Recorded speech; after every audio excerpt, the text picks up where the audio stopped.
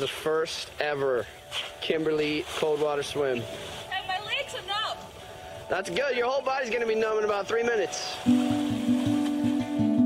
What led me to swimming was something that I thought was the worst possible thing that could ever happen to me. The surgeon said to me, We saved your leg, but we don't know what, if any, functionality you'll ever have.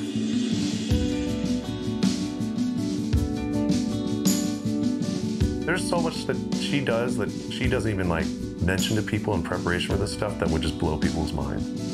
I think she's proven that you can do anything as long as you set your mind to it. The New Zealand native completed the extraordinary feat of swimming across seven major waterways dubbed the Ocean Seven. She's just one of six people in the world to have done it. It's just absolutely mind-blowing the level of commitment. Woman's tough as nails. There is this energy about the ocean that is electric. The Farallon Islands are 30 miles off the coast of San Francisco. The goal is to swim from the Farallon Islands to the Golden Gate Bridge. Three men have done this swim, and no woman has done this swim yet. I want to be that woman.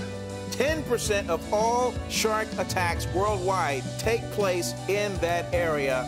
I read one headline, you know, about swimming in shark infested water. Who would do that? And so yeah, I'm completely nuts. there's that. This an all-star, man. Just unbelievable. But this is the toughest swim in the world. Everybody knows it. I'm worried I'm not gonna make it.